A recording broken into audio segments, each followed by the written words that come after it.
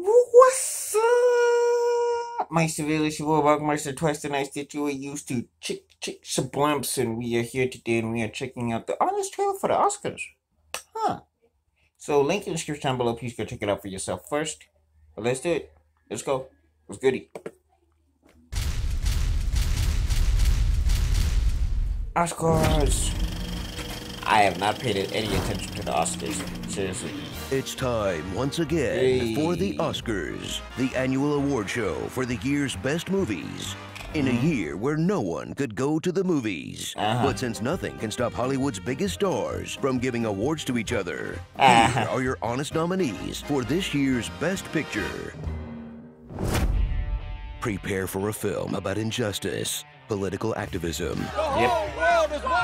and social movements that couldn't have come at a more timely moment.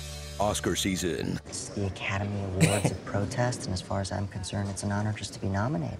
in Aaron Sorkin's first film to give the finger to historical truth since, well, his last four movies, featuring oh. Borat's wackiest accent yet, Over the course of 10 days, the government called 37 witnesses. Eddie Redmayne's third or fourth wackiest accent yet, Whether we're given permits or not, we're coming. and the guy from Succession doing an impression of Cheech and Chong at the same time.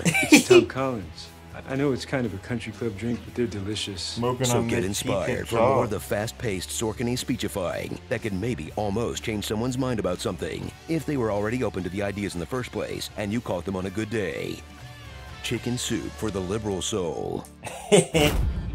Experience oh. the moving story of Black Panther leader Fred Hampton, Snitch, in an intimate portrayal of the relationship between this backstabbing bullshitter and Jesse Plemons' latest white boy you don't want to mess with, leaving audiences with about as much knowledge of the Black Panther movement as Forrest Gump. Sorry I had a fight in the middle of your Black Panther party. That still definitely deserves a Best Picture nomination, but it's kind gotta sting that Da 5 Bloods got snubbed while Spike Lee's literal film student got in. You do know you can honor more than one black director at a time, right? At least nominate Delroy Lindo, you cowards. From the colossal castles atop Coanga to the bustling boulevards of Boys Town, all of Hollywood is in the tank for Mank. That compelling Kane chronicle from Fight Club frontman Fincher has everyone talking, from film historians to film festival programmers. Heck, even film preservationists want hanky panky from Mr. Mankey. Don't have mm-hmm. intimate knowledge of old Hollywood history? Well, hit the books, Junior. Any manjack who doesn't know their shearers from their selznicks is gonna get all flipped around before you can say Irving J. Thalberg. Oh, brother, Gary Oldman is the cat's pajamas as the man who put the mank in Herman J. Mankiewicz, a fella who was half the actor's age when this all took place. Stop by the trailer for another layer of powder, Mr. Oldman. You'll get there. Plus, there's the lovely Lily Collins as Mank's secretary, who takes notes on all of his opinions. And the amazing Amanda Seyfried as Mank's friend, who listens patiently to all his opinions. And the transcendent Tuppence Middleton as Mank's wife, who sits quietly while he has his opinions. Great hmm. job, dames. Maybe you'll get some opinions of your own one day. After all, it's Tinseltown, where dreams come true. So grab your most patient grandparent for a retro revisionist roller coaster ride of righteousness, relevance, and rebuke that may look like a classic film, but unfolds with all the aimless filler of a modern day 13 episode Netflix show. Take that, Oh. Mr. Punisher. You've just been manked what good? Prank Mankers. Meet Ruben, a hardcore rocker who loses his hearing, which is a nightmare scenario for a musician, and I guess pretty bad for drummers too. Watch him go through the five stages of grief with an extended stop in anger. I'm deaf! I'm deaf! Yeah, take that, Donut. You've had it too good for too long. In this shoe-in to win all of the Sound Awards, and continues the Whiplash tradition of angry drummer movies that deserve Best Picture but won't win. And hey, at least Riz Ahmed is the first Muslim to ever get a Best Actor nomination. So, we're still hitting these firsts after almost 100 years of the Oscars, huh? Good for us, yay! Def Jam. Let That's Chloe funny. Zhao's masterful direction sweep across the pristine beauty of America, most of the time. Ooh. For a documentary full of real people, plus a famous actor so that you'd actually watch it. In this film that could be viewed as an indictment of modern capitalism, or an endorsement for how sweet van life can be. I mean, just look at that puppy. Solid as a rock. Got an indoor stove for hot chow, ample storage, More counter space. and no landlord breathing down your neck? SNL lied to us. Living in a van down by the river is awesome. Bucket pissed. I would not want to From do the writer director, who I still haven't forgiven for being so mean to Lady Di, comes Ooh. the tale of a vigilante who uses herself as man bait for sexual predators so Oh, that I she can give see- these I think creeps I might what have they seen truly this. deserve. A stern talking to. Careful Uh. next time you go out, Neil. In this film, with parallels to another story about someone in makeup who hates society.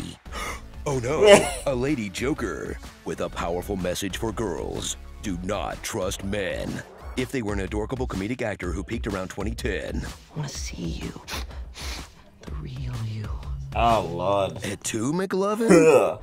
Don't kill Bill for some reason.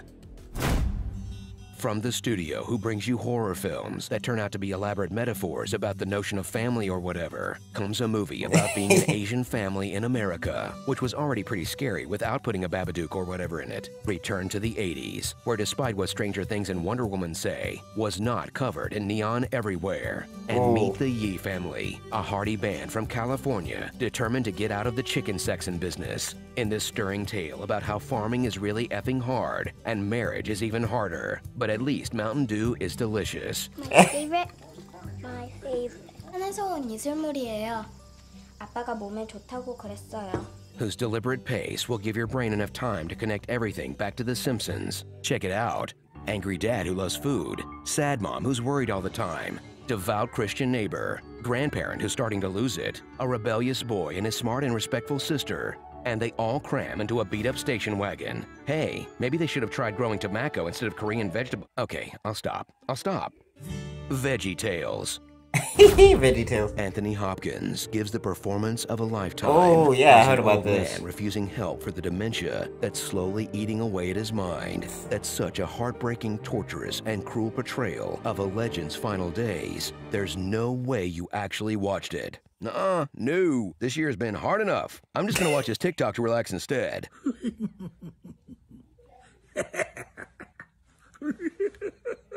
Never mind. The Downer. Oh lord. Starring all the things you actually decided to watch this year. Yep. Live action cartoons.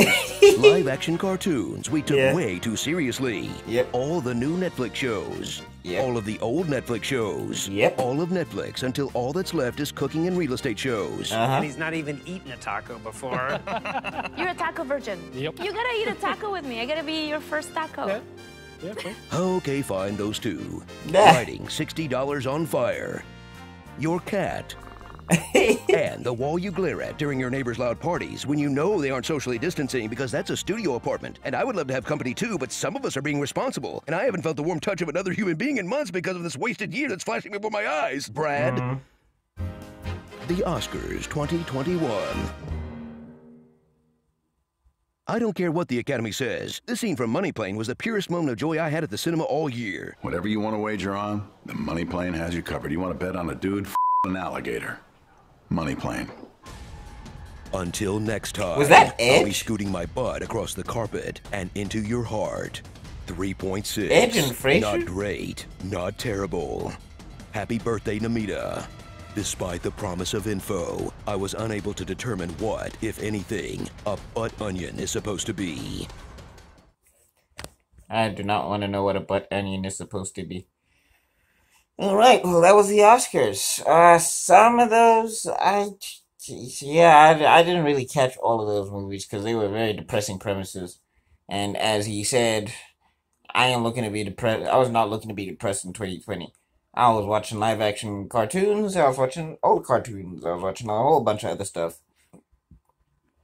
But I heard lots of good things about the movies that they mentioned, especially uh, Judas and the Messiah. Judas and the Messiah got a lot of good reviews. So yeah, I mean that's good. You know what I'm saying? But uh what do you think? Did you watch any of the movies that they listed? Let me know in the comment section down below. And what did you think of them? And all of that good stuff. And if you're at this point in the video, I want to say thank you so much for getting to this point in the video. You are spectacular. If you really like this video, I have another one up here. I got a playlist down there, and I got an icon you can click on to subscribe. Remember to ring the bell if you do subscribe, and I'll see you all in another video because my stream's got to be out. Peace.